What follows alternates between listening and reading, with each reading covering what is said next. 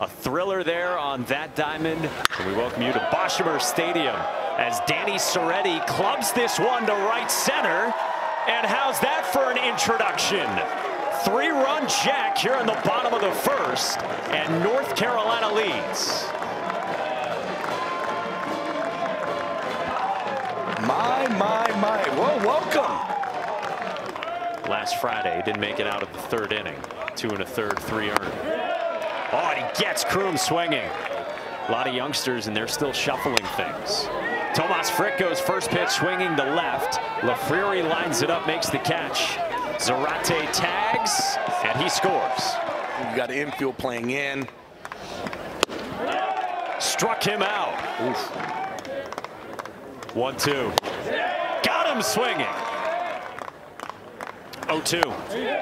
Fastball up. 94, cut on and missed. Palermo's 2-2. There it is. Pinned to the inside corner. 1-1. Osuna smashes this one. Center field. Carolina leads. That was a missile. Holy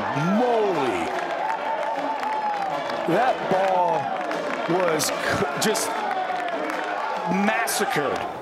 So here's Suggs. The two-run shot in the third tied the game. He goes first pitch swinging. Horvath starts it. The turn to first in time for two. Hung on to by Frick. Got him swinging. 92 from Kyle Mott.